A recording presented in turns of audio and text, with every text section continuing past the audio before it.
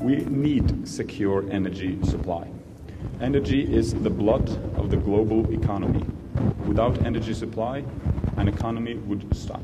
Therefore, security of supply is an important issue for all countries, for all economies. Different countries have different concerns when it comes to energy security. Importing countries are focused on availability and cost of future supply. Exporting countries are focused on security of future demand to pay for expensive new projects and infrastructure. I am a strong believer in an open and transparent market as a key element to increase energy security for both exporters and importers of energy. Price signals are the most efficient way to allocate resources, and we can now see the, effi- the effect of the higher prices of oil and gas over the last decade. America's assumed need to import natural gas has vanished. The breakthrough of shale gas has changed the world of energy.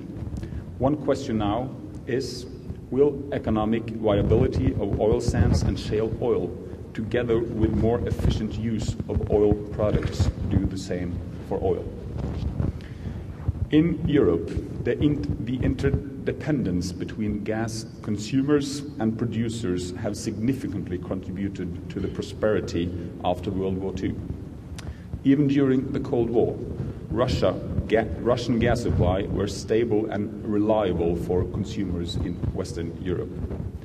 However, the perception of insecurity when it's come to availability of gas is still living in capitals around Europe.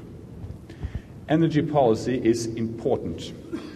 If politicians say they will not accept use of certain fuels in the future, availability of the fuel is not independent of importing countries' energy policy.